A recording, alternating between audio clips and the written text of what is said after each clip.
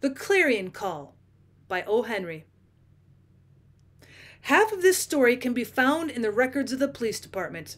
The other half belong behind the business counter of a newspaper office. One afternoon, two weeks after millionaire Norcross was found in his apartment, murdered by a burglar, the murderer, while strolling serenely down Broadway, ran plump against Detective Barney Woods. Is that you, Johnny Kernan? Asked Woods, who'd been nearsighted in public for five years. No less, cried Kernan heartily. Well, if it isn't Barney Woods, late and early of Old St. Joe. You'll have to show me. What are you doing east? Do the green goods circulars get out that far? said Woods. Well, I've been in New York some years. I'm on the city detective force. Well, well, said Kernan, breathing smiling joy and patting the detective's arm. Come into Mueller's, said Woods. Let's hunt a quiet table. I'd like to talk to you for a while. It lacked a few minutes to the hour of four. The tides of the trade were not yet loosed, and they found a quiet corner of the cafe. Kernan, well dressed and slightly swaggering, self confident, seated himself opposite the little detective, with his pale, sandy mustache, squinting eyes, and a ready made cheviot suit. What business are you in now? asked Woods.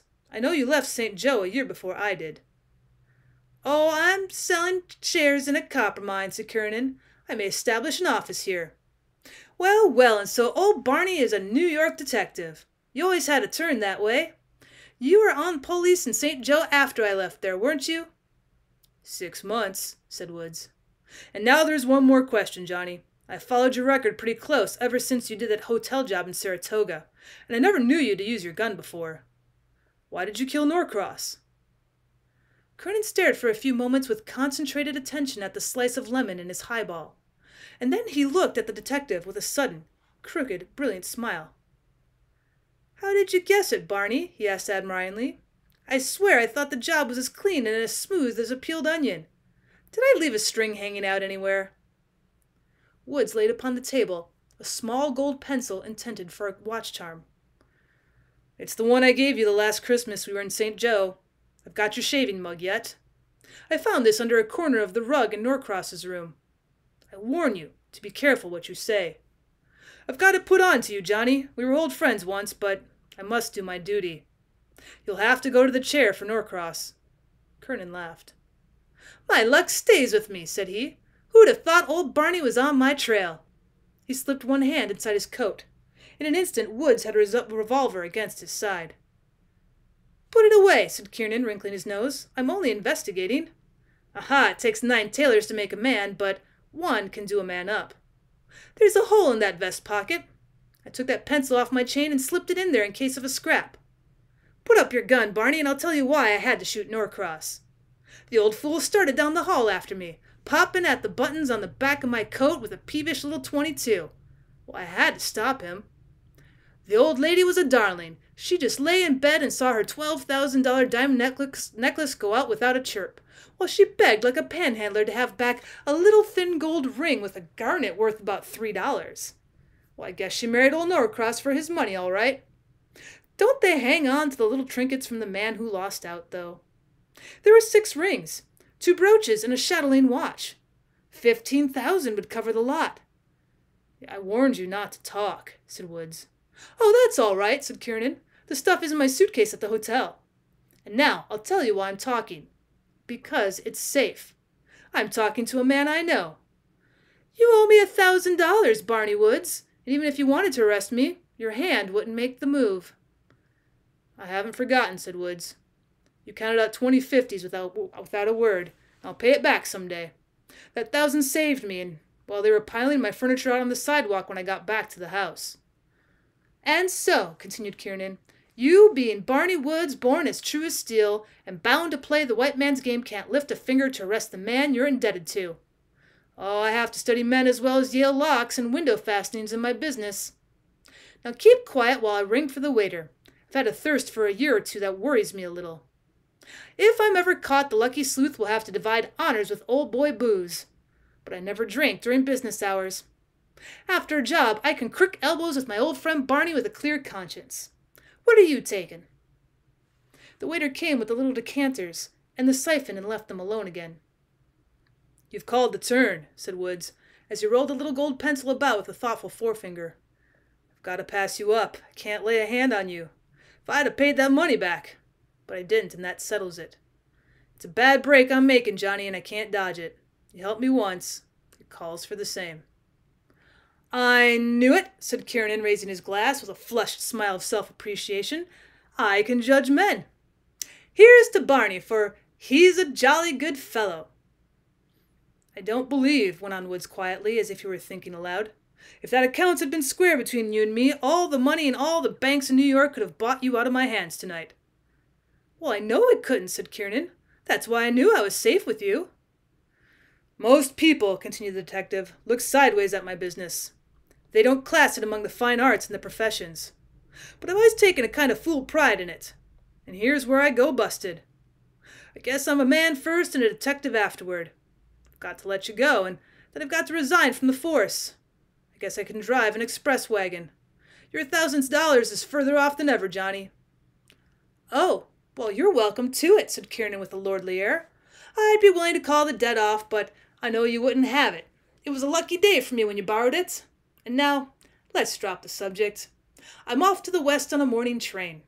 I know a place out there where I can negotiate the Norcross sparks. Drink up, Barney, and forget your troubles.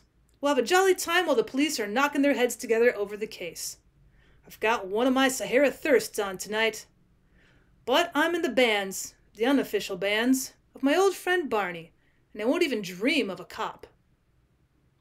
And then, as Kernan's ready finger kept the button and the waiter working, his weak point, a tremendous vanity and arrogant egotism, began to show itself. He recounted story after story of his successful plunderings, ingenious plots, and infamous transgressions, until Woods, with all his familiarity with evildoers, felt growing within him a cold abhorrence toward the utterly vicious man who had once been his benefactor. Oh, I'm disposed of, of course, said Woods at length, but advise you to keep under cover for a spell. The newspapers may take up this Norcross affair. There's been an epidemic of burglaries and manslaughter in town this summer. The words sent Kernan to a high glow of sullen and vindictive rage. To hell with the newspapers, he growled. What do they spell but brag and blow and boodle and boxcar letters? Suppose they do take up the case. What does it amount to? The police are easy enough to fool. But what do the newspapers do? Well, they send a lot of pinhead reporters around to the scene, and they make for the nearest saloon and have beer while they take photos of the bartender's oldest daughter in evening dress, to print as the fiancée of a young man in the tenth story, who thought he heard a noise below the night of the murder. Well, that's about as near as the newspapers ever come to running down Mr. Burglar. Well, I don't know, said Woods, reflecting. Some of the papers have done good work in that line. There's the Morning Mars, for instance. It warmed up two or three trails and Got the man after the police had let him out cold. I'll show you, said Kernan, rising and expanding his chest. I'll show you what I think of newspapers in general, and your Morning Mars in particular. Three feet from their table was the telephone booth. Kernan went inside and sat at the instrument, leaving the door open. He found a number in the book, took down the receiver, and made his demand upon Central. Wood sat still, looking at the sneering, cold, vigilant face waiting close to the transmitter, and listened to the words that came from the thin, truculent lips, curved into a contemptuous smile. Was that the Morning Mars? I want to speak to the managing editor. Why, tell him it's someone who wants to talk to him about the Norcross murder. You the editor? All right. I'm the man who killed old Norcross. Wait, hold the wire. I'm not the usual crank. Oh, there isn't the slightest danger. I've just been discussing it with a detective friend of mine. I killed the old man at 2:30 a.m. 2 weeks ago tomorrow. Have a drink with you? Now hadn't you better leave that kind of talk to your funny man? Can't you tell whether a man's guying you or whether you're being offered the biggest scoop your dull dish rag of a paper ever had? Well, that's so. It's a bobtail scoop but you can hardly expect me to phone in my name and address. Why? Well, because I you make, heard you made a specialty of solving mysterious crimes that stump the police. No, that's not all. I want to tell you that your rotten, lying penny sheet is of no more use in tracking an intelligent murderer or a highwayman than a blind poodle would be. What? Oh no, this isn't a rival newspaper office. You're getting it straight. I did the Norcross job, and I've got the jewels in my suitcase at. Well, the name of the hotel could not be learned. You recognize that phrase, don't you? Yeah, I thought so. You've used it often enough. Kind of rattles you, doesn't it, to have the mysterious villain call up your great, big, all powerful organ of right and justice and good government and tell you what a helpless old gas bag you are? Now cut that out. You're not that big of a fool. No, you don't think I'm a fraud. I can tell it by your voice. Now listen, and I'll give you a pointer that will prove it to you. Of course, you've had this murder case worked over by your staff of bright young blockheads. Half of the second button on old Mrs. Norcross's nightgown is broken off. I saw it when I took the garnet ring off her finger. I thought it was a ruby. Stop that, it won't work. Kernan turned to Woods with a diabolic smile. Got him going. He believes me now. He didn't quite cover the transmitter with his hand when he told somebody to call up Central on another phone and get our number. I'll give him just one more dig and then we'll make our getaway. Hello, yes, I'm here yet. You didn't think I'd run from such a little subsidized turncoat rag of a newspaper, did you? Oh, you'll have me inside of 48 hours. Say, will you quit being funny? Now, you let grown men alone and attend to your business of hunting up divorce cases and streetcar accidents and printing the filth and scandal that you make your living by. Goodbye, old boy. Sorry I haven't time to call on you. I'd feel perfectly safe in your sanctum asinorum. Trela. Boy, he's as mad as a cat that's lost a mouse, said Kernan, hanging up the receiver and coming out. And now, Barney, my boy, we'll go to a show and enjoy ourselves until a reasonable bedtime. Four hours sleep for me, and then westbound. The two dined in a Broadway restaurant. Kernan was pleased with himself. He spent money like a prince of fiction. And then a weird and gorgeous musical comedy engaged their attention. Afterward, there was a late supper in a grill room with champagne, and Kernan at the height of his complacently complacency. Half past three in the morning found them in a corner of an all-night cafe, Kernan still boasting in a vapid and rambling way. Woods thinking moodily over the end that had come to his usefulness as an upholder of the law. But as he pondered, his eye brightened with a speculative light. I wonder if it's possible, he said to himself. I wonder if it's possible. And then outside the cafe, the comparative stillness of the early morning was punctured by faint, uncertain cries that seemed mere fireflies of sound, some growing louder and some fainter, waxing and waning amid the rumble of milk wagons and infrequent cars. Shrill cries they were when near, well known cries that conveyed many meanings to the ears of those of the slumbering millions of the great city who waked to hear them. Cries that bore upon their significant small volume the weight of a world's woe and laughter and delight and stress. To some cowering beneath the protection of a night's ephemeral cover, they brought news of the hideous bright day.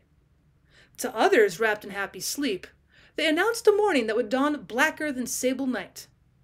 To many of the rich, they brought a, best, uh, a hansom to sweep away what had been theirs while their stars shone. And to the poor, well, they just brought another day. All over the city, the cries were starting up, keen and sonorous, heralding the chances that the slipping of one cogwheel in the machinery of time had made, apportioning to the sleepers while they lay at the mercy of fate. The vengeance, profits, grief, reward, and doom that the new figure in the calendar had brought them. Shrill yet plaintive were the cries, as if the young voices grieved that so much evil and so little good was in their irresponsible hands. Thus echoed in the streets of the helpless city the transmission of the latest decrees of the gods, the cries of the newsboys, the clarion call of the press. Woods flipped a dime to the waiter and said, Get me a morning Mars. When the paper came, he glanced at its first page and then tore a leaf out of his memorandum book and began to write on it with a little old pencil. What's the news? yawned Kernan. Woods flipped over to him the piece of writing. The New York Morning Mars. Please pay to the order of John Kernan the $1,000 reward coming to me for arrest and conviction. Barnard Woods. I kind of thought they would do that, said Woods, when you were jollying them so hard. Now, Johnny, you'll come to the police station with me.